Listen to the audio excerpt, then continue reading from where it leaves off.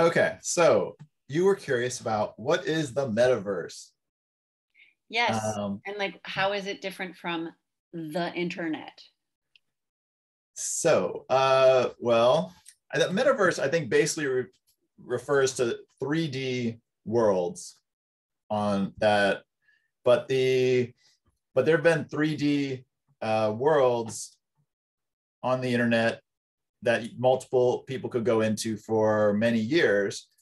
The big difference is that now these 3D worlds, oh look, fly up here. I'm in crypto voxels right now, which I think is like the most important, one of the most important parts of the metaverse right now.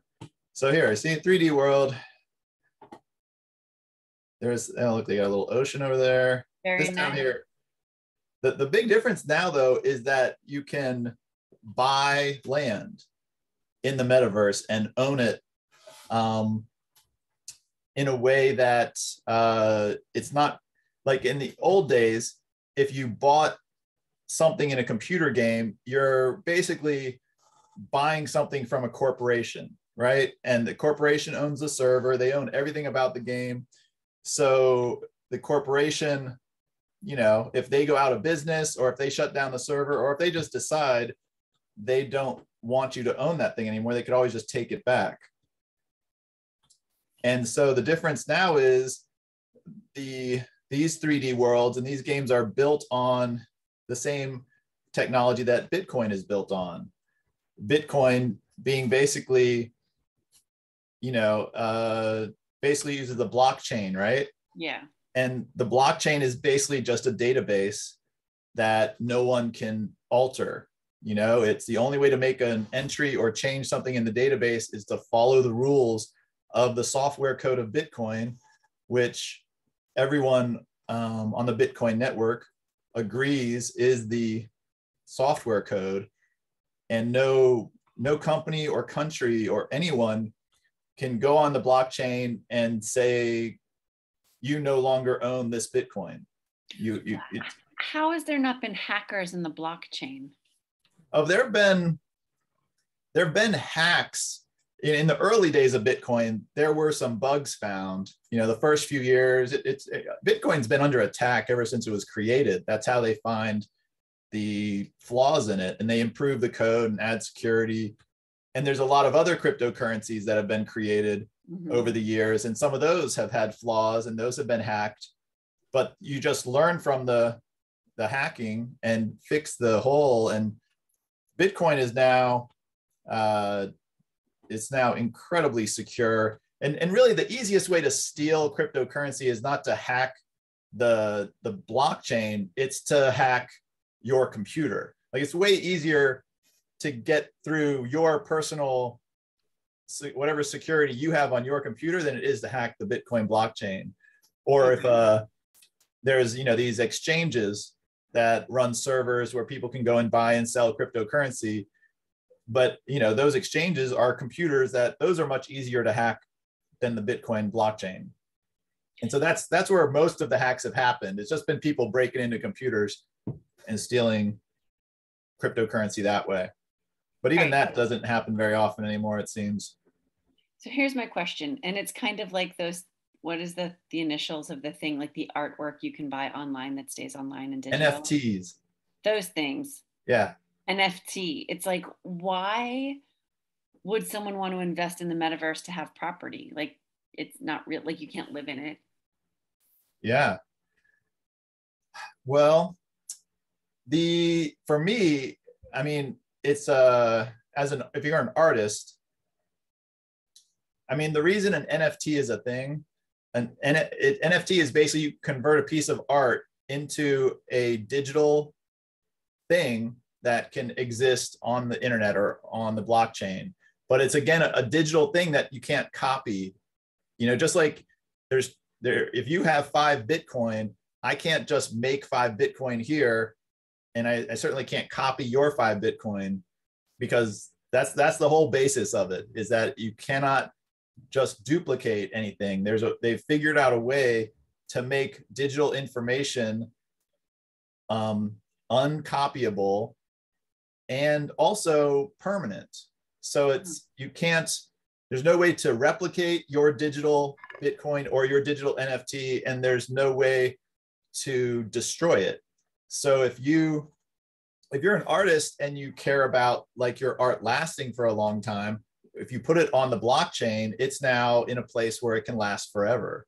You know, and but that's it's the, not physical. Like I guess my thing is, and I know it's like old school thinking, obviously, um, and I need to evolve. However, my thing is, even if you're an artist and you're like, oh, this is going to be preserved throughout however long the system doesn't crash or whatever, or if like we don't become dinosaurs, you know, ha, or you know, uh, World War Three or a global pandemic. Um, if you're like, what would be the draw of owning a piece of art that you can't physically have like in your space, in your physical space on a day-to-day basis and enjoy? I mean, well, you could um, I mean, you could make a physical copy of any NFT that you that you buy, just okay. like you could of anything. If you need a physical copy, uh, but if you're trying, say, to make money from it, you own the NFT, and so if the if it's a, a visual image or a video or a, a song that you can make money from, having it on the blockchain as gives you proof of ownership. So like, you know, if you want to say you want to record a song in the old days, you have to get a studio to uh, help you release it and then help distribute it and and hopefully you get a little bit of money back through that you know that process of right. uh, but now it's we're evolving very quickly to a point where if you record a song you release it as an nft and then people who want to listen to it get it through the blockchain or get it through some means but because it's now tied to this NFT, it can be tied to you forever. So and you then it cuts out the middleman, like the middle. Totally person. cuts yeah. out the middleman. That's and that's what's happening with the art NFT. So if you're an artist and you start releasing your art as pictures and just sell them, not only do you get money if you sell your art for twenty dollars, but you because it's all on the blockchain, they have built it so you actually get a little percentage every time that art is resold. So it's you know if you're just doing a normal painting, and you sell it, you get a thousand dollars for it. Great. But then they sell it and they get 10,000. Then they sell it, they get a hundred thousand. And you're sitting here, the original artist, you're not getting any of that appreciation. But with NFTs, you do. So it's like you can just sell your art cheap, let people trade it. And, and if it goes up in value, you just start keep raking in little commissions from every time they sell it again. No middleman at all. It's just all controlled by the code of the blockchain. Hmm. And uh, yeah, it's a pretty so from making money with music or art, movies, um, it's uh, it's going to be very good for artists, and it is right now good for artists. And and if you if as an artist, if you like the idea of your art lasting forever, which you know that was the thing that really got me hooked. I was like, that was uh, you know, I, I like the idea of being able to create something and having it just last forever throughout history. So I mean, for as long as the systems don't crash and we still have electricity. Right. But I mean, I mean, if you think like in a, the way I look at it, like the minute, you know, one of the first thing that's what, like the blockchain is just, you know, Bitcoin's blockchain, it's just, it's literally just like one chain, you know, it's like, so it's, you don't, um, you don't get just one piece of the blockchain, you get mm-hmm. every bit of it, you get the entire history of it. It's a uh, so it's like the minute humans start to expand out into space the blockchains are going to just go with them there's going to be copies of everything on the blockchains that's going to follow humanity wherever we go but like the vhs tapes or paintings or whatever even the pyramids nothing that's physical is going to last as long as digital information and amongst digital information nothing's i think blockchains are going to last longer than any other bit of digital information. So we're basically just going to turn into digital aliens and expand out into the universe and leave Earth. We're going to shed Earth and be like, what fools we were to buy art and go to the Louvre. I mean, I don't know if we'll become digital aliens. I mean, you might be right, but um, no, but but the, is this? But this is your own metaverse. It's not a shared metaverse with other people. So this is crypto voxels. I didn't create this. This piece, this right here, this little square here on the ground is my mm-hmm. parcel. I bought this piece, And I put this little purple wall here because Very Right. trendy. because here this wall next to mine, someone put a pretty risque image of a like a cute pixie or something or elf. So Yeah. I put this uh wall here as my funny way of like blocking their, you know, mildly adult thing. And so and so going up from this little square, I've put these photos and stuff here. How far up does your property go? How how tall can you make it? Very good question. So in crypto voxels, you can only go up, uh, well, only up, uh, depending on the parcel. Let's see, can I like build here? So it looks like in this area, you can go up fairly high. hmm I don't know if my parcel lets go up this high. I have to test that. But Are there um, any earthquakes in the metaverse? Another good question. No, uh, not. I don't believe crypto voxels as implement. But this is just one world. Okay. So why don't I show you a, a couple other worlds? Okay. Um, What is that thing floating in the sky? Is it a frog? let's see. A fingerprint? Does look frog-like? Yeah, I'd say that's kind of a, that's a frog. Frog head. it's not yours. No, no. And you see how there's all these art. There's a lot of museums in the metaverse. So these are this place is just filled with museums. These are probably all NFTs in here that you can buy. And it's as simple as, you know, when you see one, you can usually just click on it and like I'm gonna click on this one. Yeah, and this is a here's a description. Here's the owner, the creator. And here, view on OpenSea. You just click on that, you go straight to the online marketplace and I can make an offer and buy that piece of art.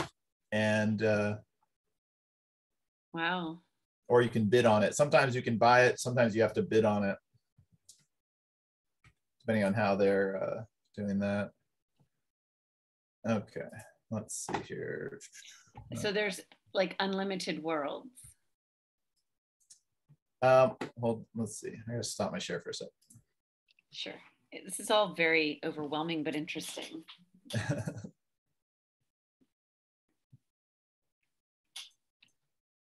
All right, I got stuck in full screen because my Zoom was uh, blocking the exit. Okay, so that was Crypto Voxels. Um, That's the name of the world. that's the name of the world. And well, let me show you. I'll show you a couple other things about. So this is the map of Crypto Voxels down here. And the first world on Crypto Voxels was this big square over here. so they made this big square and started selling it. And then they were like, and everything on there started to sell. And so then they created more worlds. And there's no reason they can just create as many more worlds as they want. Wait, so all so many people from all around the world have the Bronx. Um, people from all over the world have bought plots of land in the metaverse. In in this particular one. Yeah, I'm sure they people from every corner of the earth have bought, you know, property in uh, crypto voxels.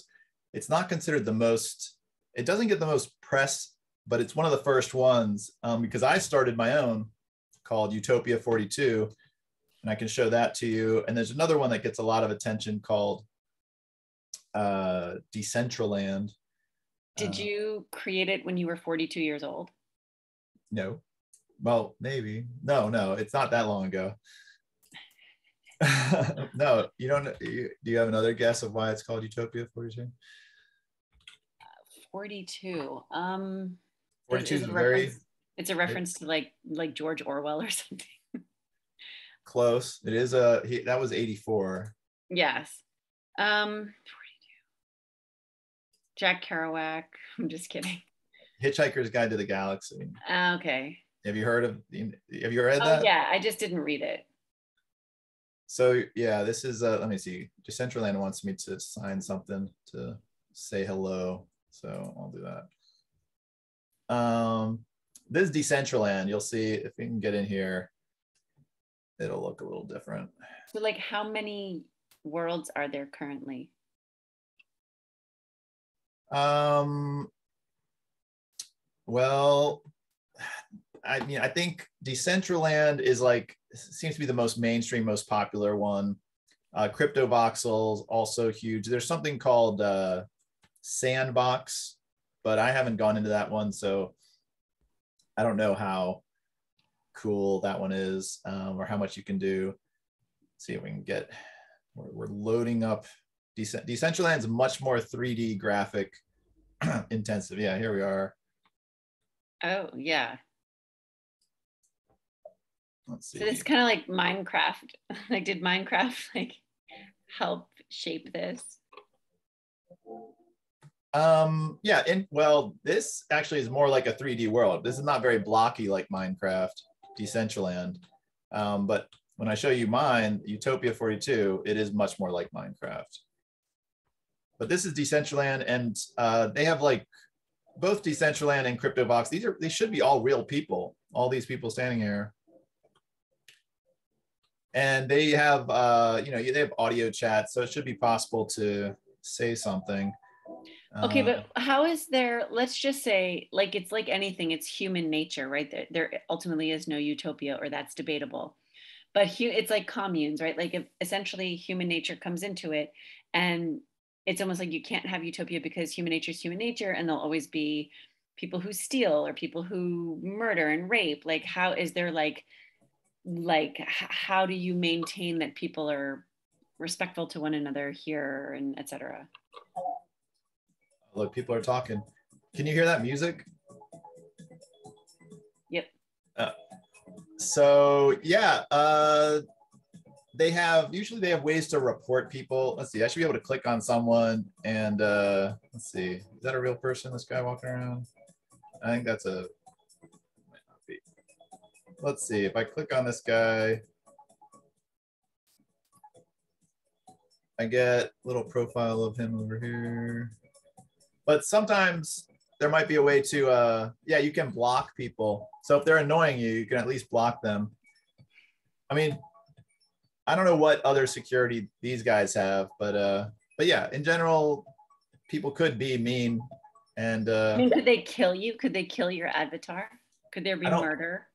I don't know, not in, not to my knowledge, in crypto voxels or in uh, Decentraland. Okay. But here, I'll, I'll close these and I'll show you now the metaverse that uh, that I built. You ready for another one? Yes. Utopia 42. Yeah, let me close these because they uh sucking up my resources.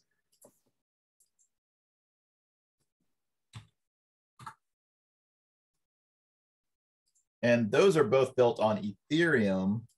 Mine is built on Polygon. What's Polygon? Is it like another cryptocurrency? Yeah, it's related to Ethereum, but it's it's much less expensive um, to use. So we'll go into it says Utopia 42, How is Ethereum doing these days? like the price of it. Or just is it doing well in general? It's still doing still doing well. It's you know it's still Bitcoin is the number one cryptocurrency. Ethereum is uh it's trying to do more fancy things than Bitcoin. It's trying to do basically all sorts of computer, basically whatever a computer can do. Ethereum is trying to do that on a blockchain, and so it's uh, that's a very ambitious goal. So it's but it's still the leader right now um, in that type this of. is blockchain. yours? This is yeah, this is the world I built, or I hired programmers to build, and uh, you can over here. Uh, so basically, you build with blocks. Like here, I can like there. I I built. I just put a block in. Just later like Minecraft. Um, and you can fly around. And I got them to uh, make it so we can put in images and we can import 3D models. So I got this 3D model of the Millennium Falcon and uh, stuck that in there. Why not? Yeah, and then I put some some images uh, in here, some art, and this right here. You see this guy? This is a 3D scan of me. I put a giant 3D scan of myself right there. No comment. I'm just kidding. and It's then cool. yeah, It's cool. Ooh, is that Yeah. for like movies, projector, screen? Um, uh, I mean, at the moment, it's just a giant image Is sitting like- there, but but that, that is one of the things we want to do is to make it a place where you can like, you know, go and sh- and show a, a video or something and and sh- and sort of have a shared experience like that. So, but the, I mean, basically in here, all you can do is buy land, build on it, and put art, put uh, 3D images. But the, the whole point to me is that then you can save it and it can last forever. So it's like what you, and my idea with Utopia 42 is to build one to make a place where you can create art, but to um, design it in a way that is uh, it's built to end oppression to make it so that if you had a, a million people in here it's made to uh, help people share power and make decisions together in a non-oppressive way. Hmm. and so that won't be as obvious with uh, looking at this world but i have another app to show you which sort of explains that yeah. But this is this is utopia 42 this is my version. This is my the world that we've built to you know to be a place where you can buy land. And so this is this is a map of it. And this is people have bought all these parcels. People have bought like random people that you don't know. yeah but, but they bought it they bought these when it was uh basically free to buy. So we haven't released it yet um to get people in there spending much significant real money. We're about to have a building contest. So these down here if you can see these parcels all these little squares are parcels that i made for uh so that we can have people do a building contest each one gets a parcel and they can just build whatever incredible thing they can build and then we'll give prizes to the best ones as a way That's to sort of get things going. And so how All do right. they build it? Like they just they are it's a within the program, kind of like a game. Yeah, it once you just once you go there, you just uh, you get your parcel and you can build like in Minecraft just by clicking blocks. Oh, there's a nice crash. Okay, so we crashed Utopia 42, Uh oh. but that's all right. All right, so now we're gonna show. You ready for another one? Yes. Okay, let me start this up and then I'll share screen again. So like how much does the not the dissenter, but the very first one, the cyber Uh, crypto voxels. the crypto boxes, how much do they sell property for? uh like thousands of dollars to get a piece of property in crypto voxels now decentraland also like let me see i get offers now around one ethereum so around you know my small parcels are worth two to three thousand dollars at least right now The ones that you've bought in Decentraland. uh, in crypto voxels So fascinating to me that like people don't understand. I mean, you just got to think of it like it's a limited resource, you know, and it might be a lot of it right now, though, is just spec- speculation. People are thinking, I don't think people really know what the metaverse is going to turn into. So it's sort of like the VHS Betamax competition right now. People are trying to buy the right thing to be in the right position Mhm. for the future. Um, but I think, you know, that's why I'm thinking more about like what is the actual purpose of the metaverse? And what I'm trying to build is things that will benefit humanity. well, yeah, Um, like ending depression. That's definitely a very um, did you d- say depression or oppression? well, both. I think didn't you say ending depression? no, oppression. Oh, I- you said oppression. I was Yeah, I mean, I don't know how to end de- depression. I was people. like, who needs a therapist? yeah but yeah but oppre- oppression in the sense that you know imagine you me and like everyone in our family had to decide how to spend a hundred thousand dollars you know how what a nightmare that would be oh let me share this screen so you can see this um all right you ready now I'm i'm, going to show you the vortex the vortex this is the vortex In your Utopia 40, no, this is a different thing. A different app. I hired some Ukrainian software developers. I hope they they're built okay. this. What? I hope they're doing okay. Yeah, they had to flee to the other side of the country, Oh my God. but they're still in communication. And actually, the so the team is still in communication with me, but the one of the coders, uh, they're like, we're gonna have to get a new coder. Oh my God. Yeah, because he's uh I guess he's fighting in the war or he's too affected by it. But Yeah, it's really scary. yeah. So this is the vortex, and this is kind of what I wanted to do at the center of Utopia 42. So if you could imagine this being the center of my of my Utopia 42 world, Okay. and I've actually I bought some land here in Port Townsend that I'm going to build something very similar to this. So it's basically a, a circle of 12 seats. And I Are you starting a cult? Is that what you're trying to tell me? See, that's interest, no, because a cult would have a cult leader, and I have no interest in being the cult leader. but it does make it awkward to try to share ideas that you think uh, would would help groups of people without like becoming like uh, listen to me i know everything everyone do what i'm saying Yeah. so what the way this is built is if you dropped in here then the basically the environment just gives you certain ways to interact with other people that is oppression free. So for one say like say uh you know all of our relatives dropped into this vortex with us and we had a big decision to make. Um what you could do if you wanted to talk to each other the only way to do that is you have to sit in one of these 12 seats. So you could all walk around and i'm going to go ahead and sit in one of the 12 seats so now i sat there and now it says your turn matt and the countdown and if i want to talk i could start talking now my microphone is on and i've got one minute to say what i have to say and, And if i'm when can I'm, interrupt you. they can't because their microphone's not on Perfect. yeah. So just imagine, you know, uh, one, I mean, if you think about like wisecracks, you know, that's one of like, or it's just like you cut out. I mean, it's basically, I, I bet this is built to stop every form of uh, oppression that people that we've learned through our family that people do for, in their verbal conversations and interactions.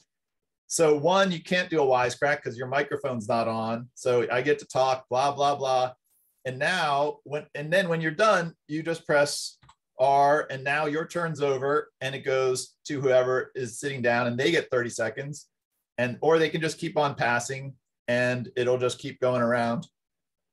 And you just sit until um, it's your turn. So let's say everyone had a lot to say. So everyone like has a ton to say. Everyone you, you just sit and everyone gets an exactly equal amount of time and then it passes.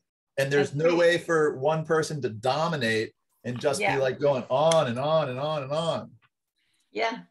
That's actually good for like classrooms could use this for mediations and for talk circles and like restorative justice circles where it's like, nope, you only get this amount of time and like, you know, it's pretty Yeah. good.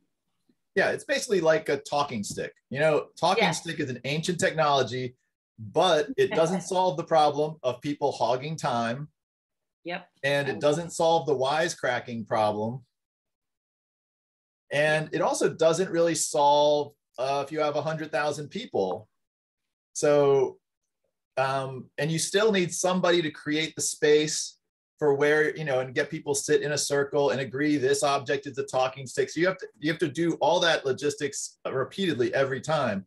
So this is intended to be i mean i i actually think you could basically structure a society around using vortexes like this.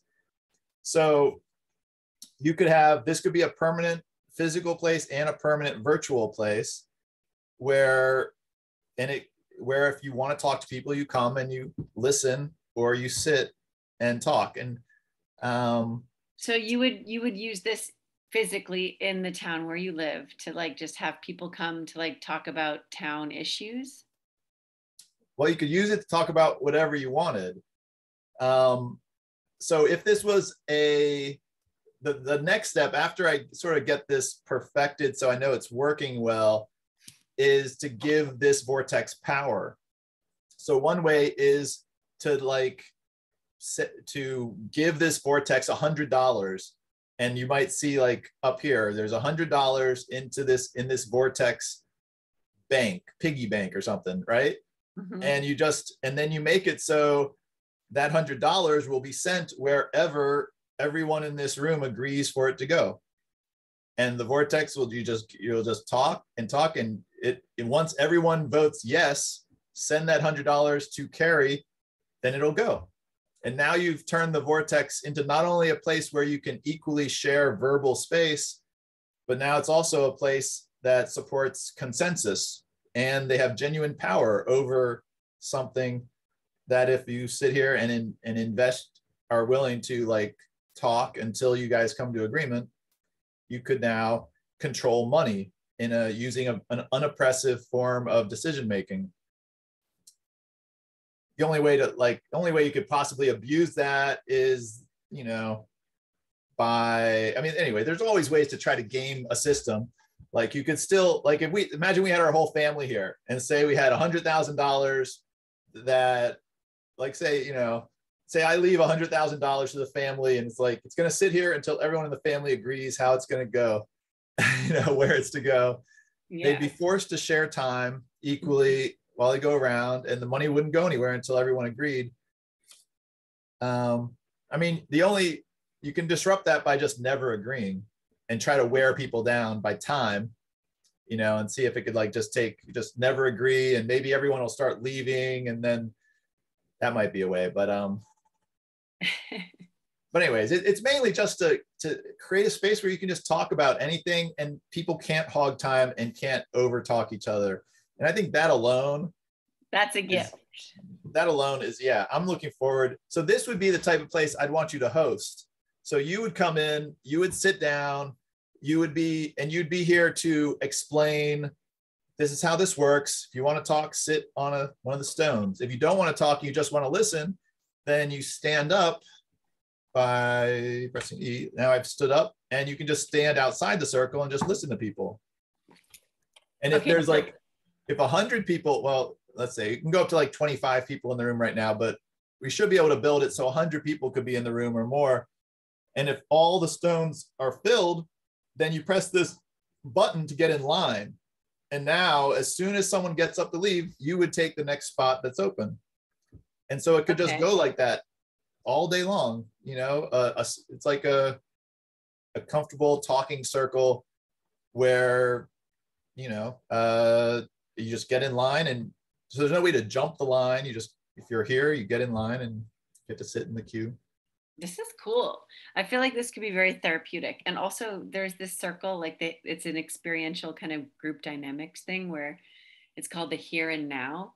And mm. the, like you just tell people like, this is your group and it, you just have to, the only rule is like, you have to be in the here and now. And then that's it. That's what you say. And it's fascinating because then people are like, wait what what does that mean and like starting to like worry or compare or get competitive and like all those you know like who's the leader and who's the silent person and who's the jokester and you start to see all these like like projection and scapegoating it's really interesting that could be like this could be a cool space for that yeah well see i mean that's like one of the i mean I, i've spent you know when i was living at the eco village spent so much time in meetings and so I've just been sort of studying the ways people the ways people ruin things, you know. and it's like, you know, uh, and one of the things is like, say you have a, uh, you know, if you're even if you're just trying, everyone's trying to be polite, and you're trying to be like, let's just do a round, you know, and we we we say we go around the circle. It's, this is brought to you by Spin Oh, nice. Sorry, I'm gonna have a seltzer. Do we get like sponsorship for advertising? I mean, totally, totally could. Actually, yeah. What about advertising in the space? I mean, it could be done. I haven't really focused on. I'm sure it will be eventually. I mean, it's it's up to those of us that control it, whether or not what we do for uh, monetizing it this is very interesting. I'm liking this little woodsy circle with the fireplace. Yeah. So to me, this, fire. yeah, to me, this is what the metaverse. This is what needs to be at the center of the metaverse. That's why I built this because it's like one giving people like because you know if you have a plot of land in the metaverse it's basically one place where you can express yourself and you know you can express yourself by sticking a video there or an, a building or a 3d object or a piece of art or even writing you can put whatever you want but that's one form of expression if you want to have real-time verbal expression then we need safe places Yeah. to do that safe that you can't abuse because people whether or not they're doing it out of malice or selfishness or they're just you know they just don't know because when you're trying to to talk and share you don't want to think about how much time do i have or am i like you know am i taking too much time? Am i talking too long? Because people who are shy they end up then like just trying to be really brief and end their turn and then people that don't care they just talk long and everyone just resents them and then the wisecracks and then the people who think they're hilarious and they're they want to like crack jokes or just like they just want to talk whenever their mind gives them something to say. You know there's a lot of people they just don't care about trying to share space. They're just like it's just a free flow. When they feel like talking they talk. And mm-hmm. they're it's not that they're bad people they just don't care. And they don't it's just not a priority. They just assume if you want to talk you talk and we're just going to compete for the space. Yeah. Wow. So, this is will people have to buy their spot on the rocks or no, they just show up? nope you, this this is going to be available on uh, for free. You do have to install the, the software. So you have to install this software to to jump into this vortex. We couldn't get it to work just in a web browser because of the audio is so um it's so tricky getting audio like to turn your mic on and turn this one off and just have that go around smoothly we couldn't really get that to work in a browser very well So But, people, uh, how will you get this software out there to people? Well, we have it. Um, we're releasing it on what's called the Steam network, um, which is a it's a it's a website, a platform where you can release video games and stuff. Oh. And uh, so yeah, we we registered there, and we have a uh, a page on there with little graphics and they do a little code review of it so people feel a little more it's hard to get people to install software but if you distribute it through someone that's a fairly trusted platform it shouldn't be that hard so we're just we're going to start with um, you know some events and we're going to first just get people we're actually going to pay people to come in here and be beta testers. So we, we basically and we've done one beta test already with we got like 10 people in from all different parts of the world. English was usually a second language so it was hard to understand people and the software was kind of clunky, but it, it basically worked. But we want to do more of that and but you really do need somebody there to uh, sort of be the mc yeah. you know? I, I wanted to get to a point where it's just like it like facilitates itself. It's so obvious. You just sit and talk. Um Let's do one together. I'd like to observe how you're going to start to run it and explain it. yeah. Yeah. Well as soon as steam approves the our software we're in like code review right now and my ukrainian software developers are, are trying to like you know they've, they've reviewed it twice and they they say there's a couple things we need to fix. So they're trying to once they get it you know uh, approved on steam then we can get people beta testers and people to uh, install it and then we can do some events Super cool. Yeah. know Yay. Ah, well, there's your little tour of uh, the metaverse and my software platforms. I like right, it. so I'm, I'm gonna stop recording so then we can just like chat more Sounds good. that takes the uh.